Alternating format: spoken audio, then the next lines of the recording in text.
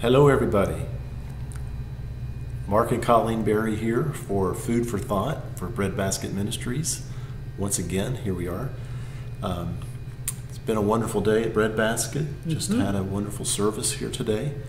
And uh, by the video, you'll see that we did it outdoors. We're still struggling with the, the protocols and the, all the things about keeping people social distanced and all that kind of stuff. And I know you know all about that. So, but anyway, we had a great time. It was wonderful. I was really impressed with the uh, the clients and how much they really look forward to the service today. That was fun. You know, it was remarkable. Before we uh, chose to actually have a service, uh, we did some surveying and asked uh, the clients if they were ready to get back to it, and every one of them just with a resounding yes and amen. So you're absolutely right. It was the right thing to do, and I think the right time to do it. Absolutely. Well, we had a very fun and very exciting uh, message today, and that's what we want to talk about.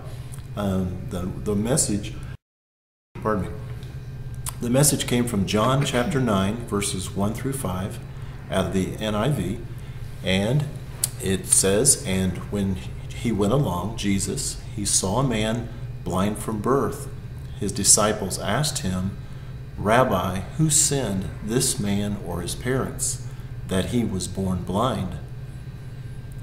Now Jesus replies, He says, Neither this man nor his parents sinned, said Jesus, but this happened so that the works of God might be displayed in his life. And we'll stop there for now. Um, you know, Colleen, the other morning we were uh, had, having our coffee, and um, I opened my Bible to this verse, and that verse where it says, This happened so that the works of God might be displayed in his life, just kind of mm-hmm. jumped out mm-hmm. to me. Mm-hmm. And um, I was just thinking about how important is that that we would understand that God really wants to rewrite our stories so that his works can be displayed in our life. Yeah, and I think it goes to his heart as a good father because good fathers want to share with their children their wisdom, their knowledge, their knowing, and God's ha- God has to navigate both good and evil, and He wants us to be just as wise and shrewd and cunning. And it's through His works that we gain that wisdom, and we also get to glorify Him. But we get the benefit as much as He does, I believe. Yeah. Well, let's think about this. I mean, most of us, myself included, we struggle with things in our life. You know, we're, we're just trying to get through life. We're just mm-hmm. trying to survive in life. And yet, God is saying this uh, from this passage the things that exist in your life are there to be overcome. And it's not just us overcoming, but it's so that His works and His work can be displayed in our life. And to me, that is what really is very important that we look back on our life, we look back on our history, and we can see a, a time where we were going through something and uh, we were maybe we had a way in our life that wasn't good. Um, some some change that the Lord made that changed your destiny, that changed your story once and for all. And um, these are His works that He puts in our lives, that He works in our lives, so that they might be there uh, displayed in our life. You know what's so cool is um, there's the old saying to create a win win situation.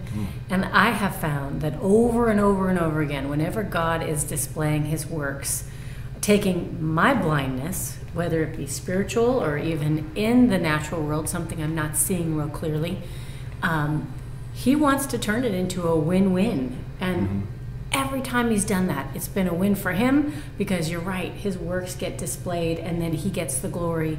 But then I get the win because I get to live in his ways and in his uh, his truth, and it just is such a gift Absolutely. for sure.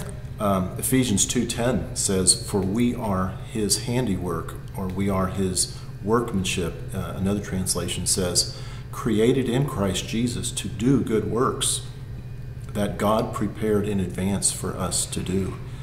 Um, I was thinking today about how um, I would not do or would have ever wanted to do the things that I do had it been not for His work in my life first. His work comes first, and then our work comes 2nd Mm-hmm. And when you get that one backwards, you pay for it dearly. That's true. you don't get out ahead of God. It is a, sure that is a fatal mistake. Every time sure. I've done it, I, I find myself um, in a place or in a story that I really don't want to be in. And, and then oftentimes I'm not sure how to get out of it, but in my own strength, I can't get out of it. I need his wisdom, I need his strength, and I need his works to Sure. transform my truth. Um, uh, Matthew chapter 5, Jesus said, You are the light of the world. A city on a hill cannot be hidden. Neither do people light a lamp and put it under a bowl. Instead, they put it on a stand, and it gives light to everyone in the house. In the same way, let your light so shine before men that they may see your good deeds and praise your Father in heaven. Um, once again, we don't work first.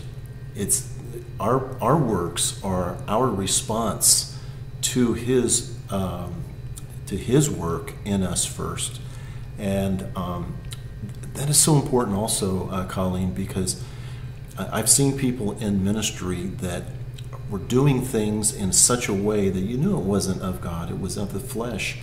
Um, but it's uh, it's very important that God do a work in us that His work be done His way. You know, it reminded me of a word that I was given years and years ago, back in 1998. In fact, I just revisited that word recently. And um, one of the statements that was made in it was that I could get distracted by a lot of goodly things when in reality I needed to keep my focus on godly things. Mm. Yeah, absolutely. And isn't that the distinction? Because even in ministry, you're doing good in doing ministry, but are you doing the godly things? Yeah. And the other thing, too, is that um, God doesn't really need us to do anything No. for Him. Um, what really needs to happen is He, he does want us to serve and, and to, uh, to preach the gospel.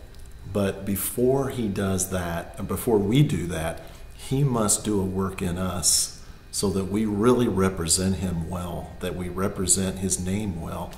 Um, you know, we don't even have to go into any examples in history, in church history, of how um, men who started out well ended up actually bringing disgrace to his name.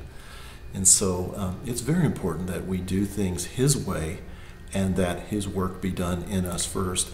And then he can do his best work when he does his work in us first. It reminds me of the blind guy. We'll go back to our, Mhm. our blind guy Yeah. in the passage who couldn't see. And it got me thinking you know, when somebody can't see well, we have a friend who's struggling Mhm. with that, they learn to listen exceedingly well. Yeah. They have other senses that get really heightened and advanced. And so here is this gentleman who has lived his entire life blind, but he's sharpened other skills. And now God is going to lift the veil and give him his sight as well. And you had mentioned how awestruck he must have been. Yeah, uh, to be born blind, never see the light of day, and um, suddenly he can see everything. It must have been a shock, uh, but great joy also. Absolutely. Okay, well, listen, um, it's uh, always a pleasure uh, to come to you and uh, to have a minute or two with you. Um, thank you for uh, giving us a listen. Uh, I, I, I hope that this uh, plants a seed in you to maybe think about uh, your life and what the, the Lord wants to do in your life and is doing in your life.